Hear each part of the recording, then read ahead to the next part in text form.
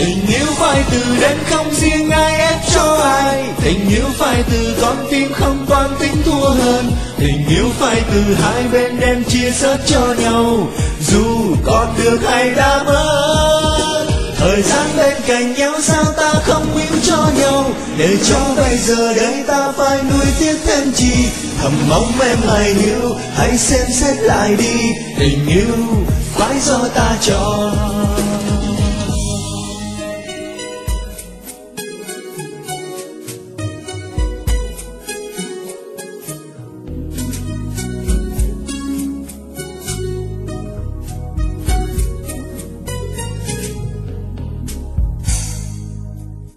Đừng nhìn anh như thế, bằng ánh mắt đang say ân tình.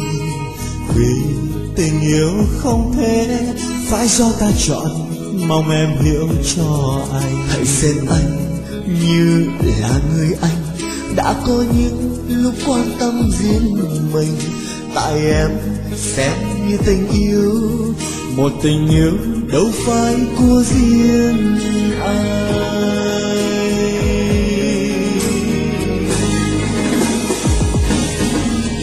Tình yêu phải từ đến không riêng ai ép cho ai. Tình yêu phải từ con tim không toan tính thua hơn. Tình yêu phải từ hai bên đem chia sớt cho nhau. Dù còn được hay đã mất thời gian bên cạnh nhau sao ta không hiểu cho nhau.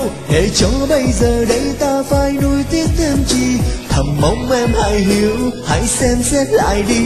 Tình yêu phải do ta chọn.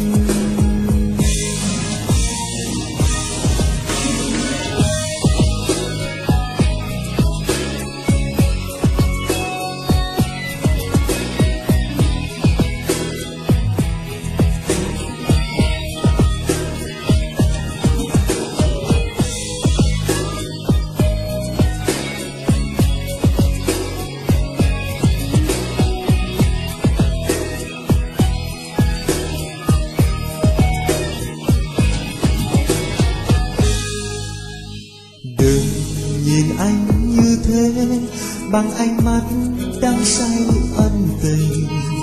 Vì tình yêu không thể phải do ta chọn, mong em hiểu cho anh. Hãy xem anh như là người anh, đã có những lúc quan tâm riêng mình. Tại em xem như tình yêu, một tình yêu đâu phải của riêng anh.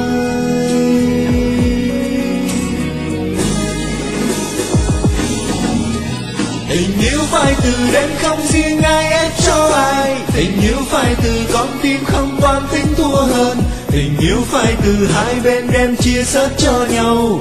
Dù còn được hay đã mất thời gian bên cạnh nhau sao ta không yêu cho nhau? Để cho bây giờ đây ta phải nuôi tiếc thêm chi. Thầm mong em hãy hiểu hãy xem xét lại đi. Tình yêu phải do ta chọn tình yêu phải từ đến không riêng ai ép cho ai. Tình yêu phải từ con tim không toan tính thua hơn. Tình yêu phải từ hai bên đem chia sớt cho nhau. Dù còn được hay đã mất, thời gian bên cạnh nhau sao ta không hiểu cho nhau? Để cho bây giờ đây ta phải nuối tiếc thêm chi. Thầm mong em hãy hiểu, hãy xem xét lại đi. Tình yêu phải do ta chọn.